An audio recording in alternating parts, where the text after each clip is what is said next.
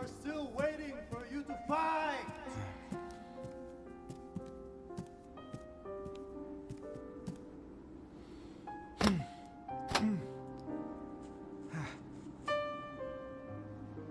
what now? this game is not over.